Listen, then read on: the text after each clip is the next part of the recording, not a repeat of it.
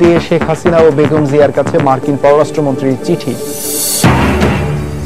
সরকারের একগুমির আন্তর্জাতিক মহল উদ্বিগ্ন, মন্তব্য মির্জা ফখরুলের। যে কোনো জায়গায় আলোচনায় রাজি সরকার, বললেন সুরঞ্জিত। বাংলাদেশ সীমান্তে একের পর এক হত্যাকাণ্ডের পর এবার নজরদারি বাড়াতে ড্রোন ব্যবহারের ঘোষণা বিএসএফ এর এবং রায়ের বাজার বৌদ্ধভূমিতে শুরু থেকে শেষ পর্যন্ত হত্যাকাণ্ডে জড়িত ছিলেন চৌধুরী মঈনুদ্দিন ও আশরাফুজ্জামান, ট্রাইব্যুনালের বাইশতম সাক্ষীর সাক্ষ্য। সংলাপের মাধ্যমে নির্বাচনকালীন সরকার পদ্ধতি নিয়ে চলমান সংকট সমাধানে প্রধানমন্ত্রী শেখ হাসিনা ও বিরোধী দলীয় নেতা বেগম খালেদা জিয়াকে এবার চিঠি দিয়েছেন মার্কিন পররাষ্ট্রমন্ত্রী জন কেরি। তার দেয়া চিঠি রোববার ঢাকায় এসে পৌঁছেছে। বিএনপির ভাইস চেয়ারম্যান শমশের মোবিন চৌধুরী সময় সংবাদকে টেলিফোনে এ চিঠি পাওয়ার কথা স্বীকার করেছেন। তিনি জানান, রাজনৈতিক সংকট অবসানের আহ্বান জানিয়ে চিঠি দিয়েছেন জন ক্যারি। এর আগে প্রধানমন্ত্রী ও বিরোধী দলীয় নেত্রীর সঙ্গে টেলিফোনে কথা বলেছিলেন জাতিসংঘ মহাসচিব বান কি মুন দুই নেত্রীর সাথে ফোনালাপে বান কি মুন রাজনৈতিক সংকট নিরসনের সংলাপে বসার তাগিদ দেন। বিএনপির ভারপ্রাপ্ত মহাসচিব মির্জা ফখরুল ইসলাম আলমগীর বলেছেন, বাংলাদেশের গণতন্ত্রের ভবিষ্যৎ নিয়ে আন্তর্জাতিক মহলও উদ্বিগ্ন। নির্বাচনকালীন সরকার নিয়ে সংলাপের তাগিদ দিয়ে মার্কিন পররাষ্ট্রমন্ত্রী জন ক্যারির দেয়া চিঠি প্রসঙ্গে তিনি এই মন্তব্য করেন। সকালে জাতীয়তাবাদী মহিলা দলের পঁয়ত্রিশতম প্রতিষ্ঠা বার্ষিকীতে মরহুম রাষ্ট্রপতি জিয়াউর রহমানের সমাধিতে ফুল দিয়ে সাংবাদিকদের সঙ্গে কথা বলেন ফখরুল। এ সময় জনদুর্ভোগের কথা ভেবে কঠোর কর্মসূচি দেয়া হচ্ছে না, উল্লেখ করে তিনি বলেন নির্বাচনকালীন সরকার পদ্ধতি নির্ধারণে বিএনপি এখন আলোচনায় বসতে রাজি। গণতান্ত্রিক দেশগুলোর নেতৃবৃন্দ, তারাও বাংলাদেশের গণতন্ত্রের ভবিষ্যৎ সম্পর্কে চিন্তিত হয়ে পড়েছে। কারণ সরকারের একগুয়েমি আজকে এমন একটা পর্যায়ে নিয়ে চলেছে যে আগামী নির্বাচন অনিশ্চিত হয়ে পড়ছে। মার্কিন পররাষ্ট্রমন্ত্রী তিনিও চিঠির মাধ্যমে তার এই উদ্বেগের কথা জানিয়েছেন এবং সব রাজনৈতিক দলগুলোকেই সংলাপের মাধ্যমে, আলোচনার মাধ্যমে এই সংকট থেকে উত্তরণের জন্য তিনি আহ্বান জানিয়েছেন। আমরা সংলাপ চাই, আমরা সমঝোতা চাই এবং সেই সংলাপ সমঝোতা তার মূল বিষয়টা হবে যে নির্যা- নির্বাচনকালীন সময়ে একটি নির্দলীয় সরকার থাকতে হবে। এই বিষয়টা নিয়ে সরকার আলোচনা করতে চাইলেই আমরা আলোচনা করতে প্রস্তুত রয়েছি। এদিকে মার্কিন পররাষ্ট্রমন্ত্রী জন ক্যারির চিঠি নিয়ে এখনও আনুষ্ঠানিক কোনো বক্তব্য দেয়নি আওয়ামী লীগ। বিএনপি পক্ষ থেকে সকালে এই চিঠি পাওয়া স্বীকার করা হলেও আওয়ামী লীগের শীর্ষ পর্যায়ের একাধিক নেতা সময় সংবাদকে জানিয়েছেন এখনও তারা এ ব্যাপারে কিছু বলতে চাচ্ছেন না। চিঠি এসে- এসেছে কিনা সে বিষয়ে কিছু বলতে রাজি নন বলে জানান।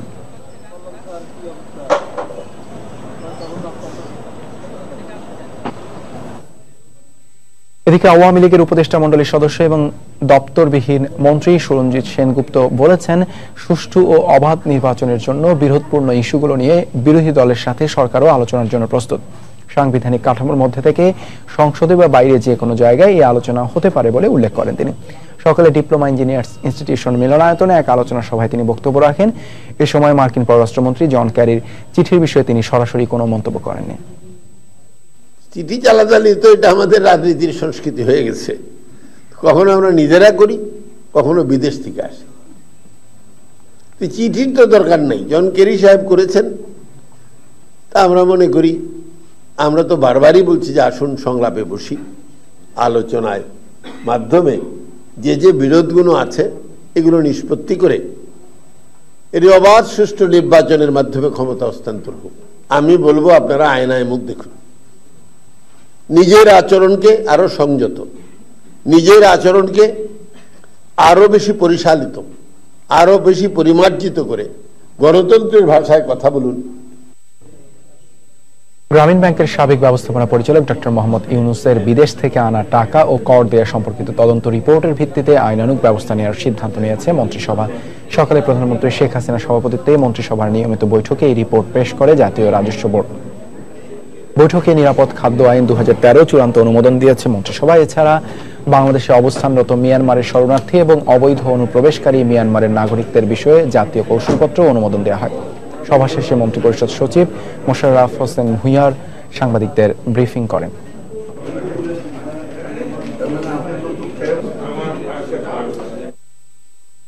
সীমান্তে একের পর এক হত্যাকাণ্ড নিয়ে যখন সমালোচনা ঝড় উঠেছে, তখন বাংলাদেশের সীমান্তে এবার ড্রোন ব্যবহারের ঘোষণা দিয়েছে ভারত। রোববার ভারতের সীমান্তরক্ষী বাহিনী বিএসএফ এর মহাপরিচালক সুভাষ যোশীর বরাত দিয়ে ভারতীয় গণমাধ্যম দ্য ইন্ডিয়ান এক্সপ্রেস জানায়, খুব শিগগিরই সীমান্তে নজরদারির জন্য চালকবিহীন বিমান ব্যবহার করা হবে। বাংলাদেশ সীমান্তে একের পর এক বাংলাদেশিকে গুলি করে হত্যা, ধরে নিয়ে যাওয়ার মতো ঘটনার পর ভারতে ড্রোন ব্যবহারের ঘোষণায় চরম আতঙ্ক বিরাজ করছে বাংলাদেশের সীমান্ত এলাকার জনপদে। পাশাপাশি ভারত পাকিস্তান সীমান্ত একই রকম পদক্ষেপের ঘোষণা দিয়ে নয়াদিল্লি জানায়, ড্রোন ব্যবহারের পদ্ধতি ও প্রক্রিয়া নিয়ে কাজ করছে ভারতীয় বিমান বাহিনী। সুভাষ যোশী আরও জানান, ভূমি থেকে এক হাজার থেকে বারোশো ফুট উচ্চতায় ড্রোনগুলো উড্ডয়ন করবে, সেখানকার ছবি তুলবে এবং সীমান্তে কোনো অনুপ্রবেশকারীর গতিবিধি লক্ষ্য করা গেলেই সে সম্পর্কে তথ্য পাঠাবে। এদিকে বাংলাদেশি কিশোরী ফেলানি হত্যা মামলার রায়ের প্রতিবাদে গুলশানে ভারতীয় হাই কমিশনের সামনে মানববন্ধন করেছে রিলেশন ইন মোশন নামে একটি স্বেচ্ছাসেবী সংগঠন। সকালে এই কর্মসূচি চলাকালে আন্তর্জাতিক আদালতে এই ঘটনার পুনর্বিচার দাবি করা হয়। এ সময় আন্তর্জাতিক আদালতে ফেলানি হত্যার পুনর্বিচার দাবি করেন অংশগ্রহণকারীরা। এছাড়া বাংলাদেশ ভারত সীমান্তে বিএসএফ এর হাতে এ পর্যন্ত ফেলানি সহ যত বাংলাদেশি নাগরিক নির্যাতিত এবং নিহত হয়েছেন, তার বিচারও দাবি করে সংগঠনটি। ফালানি হত্যা মামলায় সম্প্রতি দেয়া রায়কে প্রত্যাখ্যান করে ভবিষ্যতে এমন ঘটনা না ঘটার ব্যাপারে বাংলাদেশ সরকারকে উদ্যোগী হওয়ার আহ্বান জানান। আমরা চাচ্ছি যেন এটার একটা সুবিচার আমরা পাই। ভারতীয় সরকারকে চাপ দিতে হবে যাতে তারা সীমান্তে ভবিষ্যতে আর কোনো হত্যাকাণ্ড না করে। দুঃখজনক বিষয় হচ্ছে এম্বাসির মধ্য থেকে এখানে কয়েকজন স্টাফ এসে আমাদেরকে সাথে অনেক বাজেভাবে দুর্ব্যবহার করেছে। সময় সংবাদে আরও থাকছে। নিচের বেহাল সড়ক সংস্কার না করেই চালু হচ্ছে মেয়র হানিফ ফ্লাইওভার, বাড়বে যানজট, আশঙ্কা বিশেষজ্ঞদের।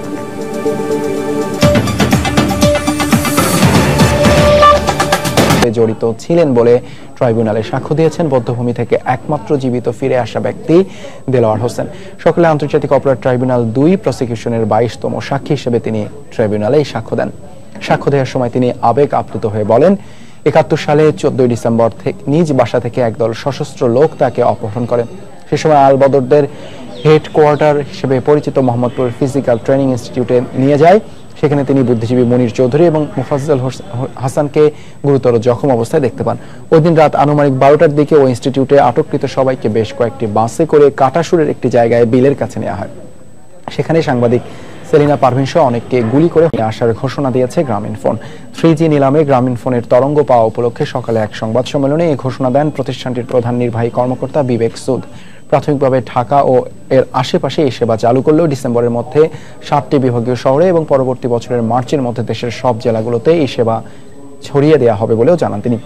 দশ মেগাহার্টস তরঙ্গ ব্যবহার করে গ্রামীণ ফোন উন্নত থ্রি সেবা দিতে পারবে বলে এ সময় জানায় প্রতিষ্ঠানটির ঊর্ধ্বতন কর্মকর্তারা।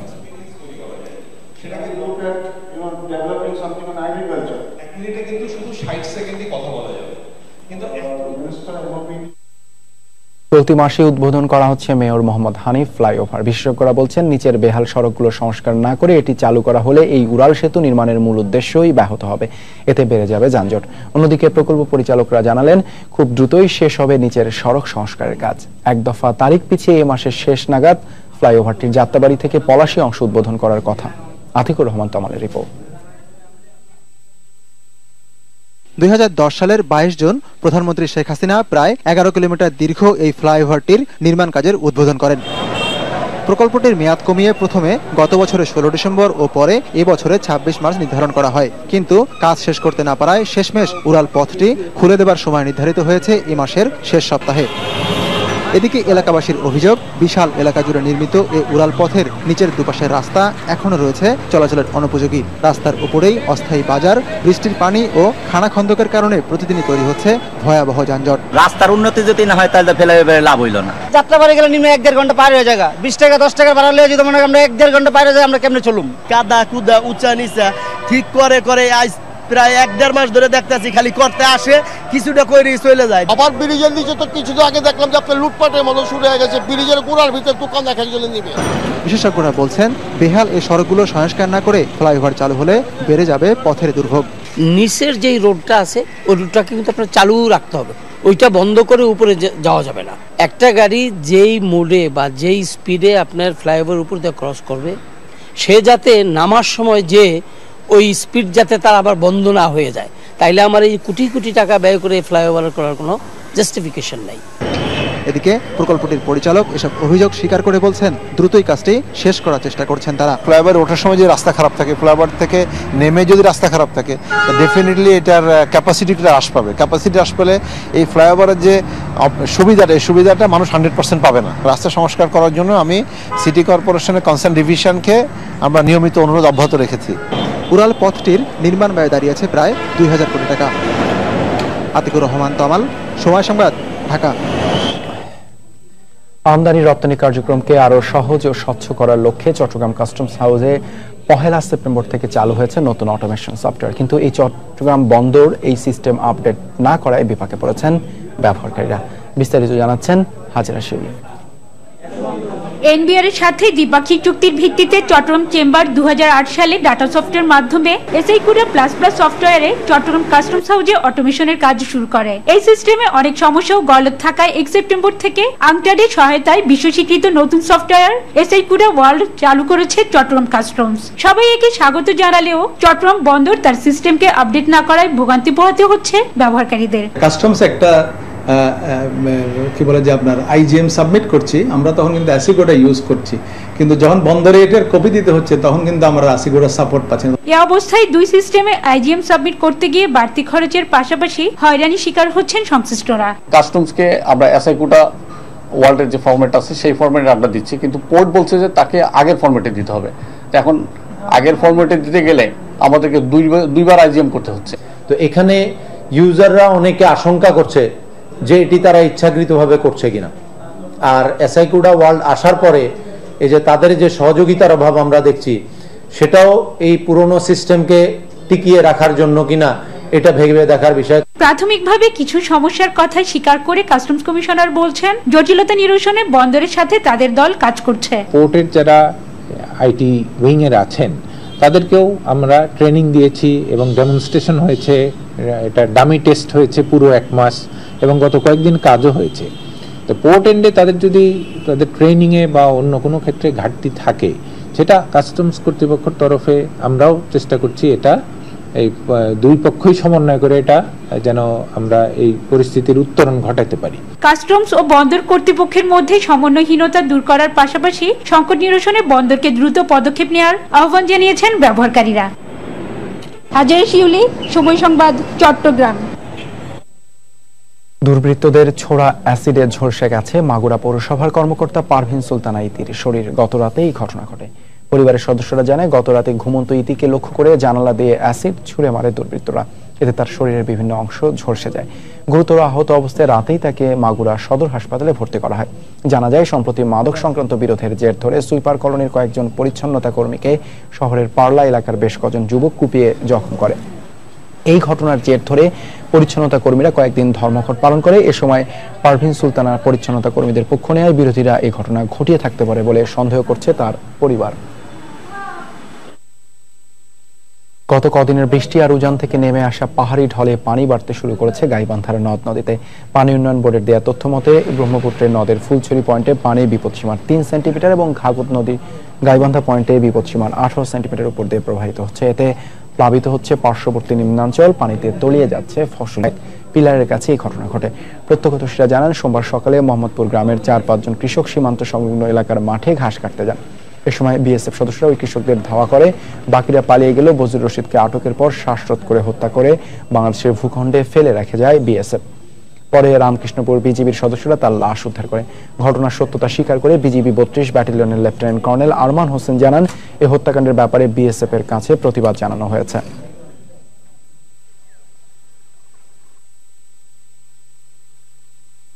দেশের বাইরের খবর, সিরিয়া ইস্যুতে সুর পাল্টেছে যুক্তরাষ্ট্র। সামরিক অভিযান নয়, রাজনৈতিক উপায়ে সিরিয়া সংকট সমাধান হতে পারে বলে মন্তব্য করেছেন মার্কিন পররাষ্ট্রমন্ত্রী জন ক্যারি। সিরিয়ায় সম্ভাব্য মার্কিন সামরিক অভিযানের বিষয়ে রোববার ফ্রান্সে আরব লীগ নেতাদের সাথে বৈঠকের পর সংবাদ সম্মেলনে বক্তব্য রাখেন তিনি। এ সময় সিরিয়া ইস্যু নিয়ে আবারও জাতিসংঘ নিরাপত্তা পরিষদে আলোচনার কথা জানালেন জন ক্যারি। সিরিয়ায় রাসায়নিক অস্ত্র ব্যবহার প্রসঙ্গে জাতিসংঘ তদন্ত দলের প্রতিবেদন প্রকাশিত হলে তা নিরাপত্তা পরিষদে উত্থাপনের যে পরামর্শ ফ্রান্স দিয়েছে, যুক্তরাষ্ট্র তা গ্রহণের কথা বিবেচনা করছে বলেও জানান ক্যারি। এছাড়া সিরিয়ায় সম্ভাব্য মার্কিন হামলার ব্যাপারে ওবামা প্রশাসন এখনও চূড়ান্ত কোনো সিদ্ধান্ত নেয়নি বলে জানান তিনি। খেলার খবর সাফ ফুটবল। সাফ চ্যাম্পিয়নশিপের দ্বিতীয় সেমিফাইনালে আজ মাঠে নামছে দুই ফেভারিট ভারত ও মালদ্বীপ। গ্রুপ পর্বে দুর্দান্ত পারফর্ম করে শেষ চারে জায়গা করে নিয়েছে মালদ্বীপ। ওদিকে অনেকটা খুঁড়িয়ে খুঁড়িয়েই নকআউট পর্বে জায়গা পেয়েছে ভারত। নেপালের দশরথ স্টেডিয়ামে দু দলের এই লড়াই শুরু হবে বাংলাদেশ সময় সন্ধে পৌনে সাতটায়। দক্ষিণ এশিয়ার ফুটবল বিশ্বকাপ খ্যাত এই আসরে সবচেয়ে বেশি ছয়বারের চ্যাম্পিয়ন ভারত, কিন্তু এবার টুর্নামেন্টের নামের প্রতি সুবিচার করতে পারেননি কোচ উইমকো ভার্ম্যানের শিষ্যরা। আর তাই এরই মধ্যে বেশ সমালোচনার শিকার হয়েছেন তিনি। যদিও কঠিন গ্রুপে পড়ায় সেমিফাইনাল পর্যন্ত পথটা সহজ ছিল না, এমনটাই দাবি করেছেন কোচ এদিকে গ্রুপ পর্বে রেকর্ড করেই শেষ চারে উঠেছে মালদ্বীপ। অধিনায়ক আশফাকের অসাধারণ পারফরমেন্সের সাথে নজর কেড়েছেন দলের তরুণরাও। তবে ফাইনালে জায়গা করে নেওয়ার লড়াইয়ের আগে ভারতকে কোনোভাবেই খাটো করে দেখতে রাজি নন কোচ কুরবানি ইস্তেফান। এবার টেনিস ইউএস ওপেনের শিরোপা অক্ষুণ্ণ রাখলেন মার্কিন তারকা সেরেনা উইলিয়ামস। রোববার ফাইনালে শীর্ষ বাছাই সেরেনা সাত পাঁচ, ছয় সাত, ছয় এক গেমে হারিয়েছেন বেলারুশ কন্যা ভিক্টোরিয়া আজারেঙ্কাকে এটি সেরেনার ষষ্ঠ ইউএস ওপেন ও সতেরোতম গ্র্যান্ড স্ল্যাম শিরোপা। বছরের শুরুতে ফ্রেঞ্চ ওপেন জয়ী সেরেনা টুর্নামেন্টের শুরু থেকেই ছিলেন অপ্রতিরোধ। গেল ছয় ম্যাচে প্রতিপক্ষের কাছে একটি সেটেও হার মানেননি র্যাঙ্কিংয়ের শীর্ষস্থানে থাকা এই মার্কিন কন্যা। অন্যদিকে গেল ইউএস ওপেনের প্রতিশোধ নেয় দারুণ সুযোগ ছিল দ্বিতীয় বাছাই আজারেঙ্কার সামনে। সাথে বাড়তি প্রেরণা ছিল চলতি বছর সেরেনার বিপক্ষে দুটি জয়, তবে দুই ঘণ্টা পঁয়ত্রিশ মিনিটের ম্যারাথন ম্যাচে প্রথম সেটটি সাত পাঁচ গেমে জিতে নেন স্বাগতিক সেরেনাই। তবে দ্বিতীয় সেট সাত ছয় গেমে জিতে ম্যাচ ঘুরে দাঁড়ান আজারেঙ্কার। কিন্তু সতেরোতম গ্র্যান্ড স্ল্যাম শিরোপা জয়ের নেশায় মত্ত সেরেনার সামনে তৃতীয় সেটে অনেকটা অসময় ছিলেন আজারেঙ্কা ফলে বছরের দ্বিতীয় গ্র্যান্ড স্ল্যাম ও ষষ্ঠ ইউএস ওপেনের শিরোপা